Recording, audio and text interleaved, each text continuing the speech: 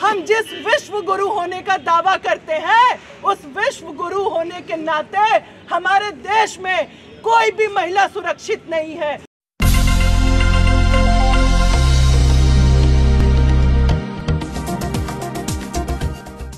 इकट्ठे हुए हैं। हम मांग कर रहे हैं, इस पूरे मसले में दिल्ली पुलिस और गृह मंत्रालय ने जो रवैया दिखाया है, उसके खिलाफ अमित शाह को इस्तीफा देना चाहिए। हम मांग कर रहे हैं कि इन आरोपियों को सजा मिलनी चाहिए।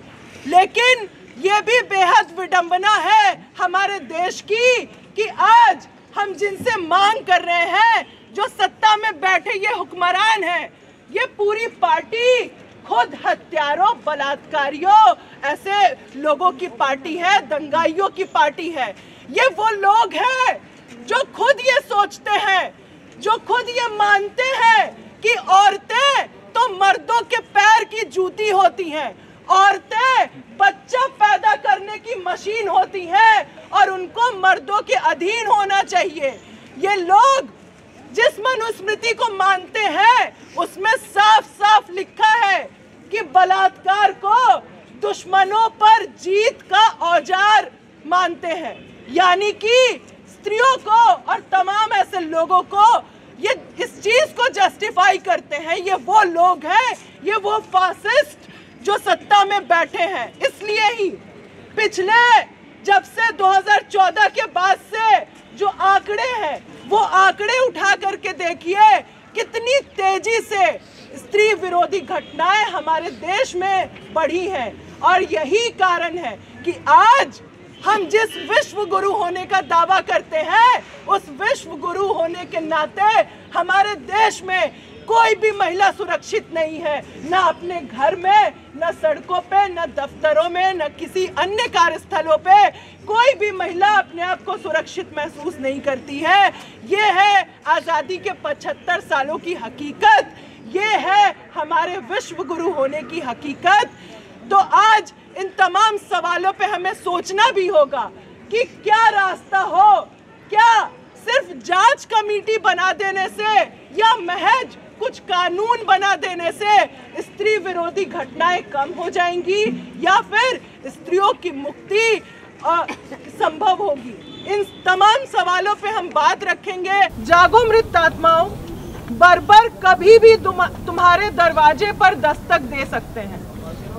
जागो मृत आत्माओं बर्बर कभी भी तुम्हारे दरवाजे पर दस्तक दे सकते हैं। कायरो, सावधान।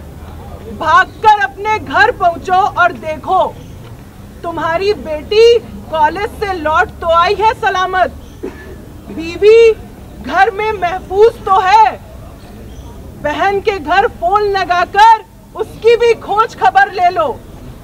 कहीं कोई औरत कम तो नहीं हो गई है। तुम्हारे घर और कुनबे से। पर कायरो, निश्चिंत होकर बैठो और पालथी मारकर चाय पकौड़ी खाओ, क्योंकि तुम्हारे घर की स्त्रियाँ सलामत हैं। कुछ किस्से गढ़ो, कुछ कल्पना करो बेशर्मो। कल दफ्तर में इस घटना को एकदम नए ढंग से पेश करने के लिए। बर्बर हमेशा कायरों के बीच रहते हैं।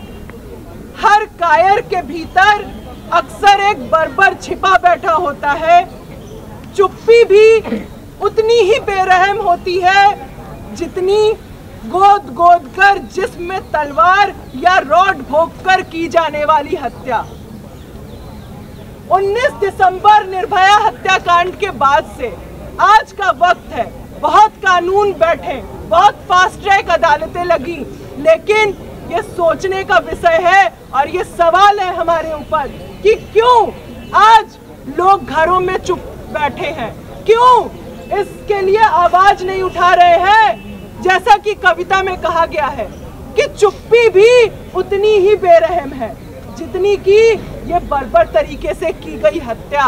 आज जो लोग यहाँ खड़े हैं हम तमाम उन लोगों से भी कहना चाहेंगे, इस मसले पर औरतों को तो खड़ा होना ही होगा, लेकिन उन तमाम पुरुषों को, उन तमाम नौजवानों को, जो आज जिनके दिलों में इस घटनाओं को लेकर गुस्सा पैदा होता है, बेचैनी पैदा होती है, कि हम किस मुल्क में रह रहे हैं।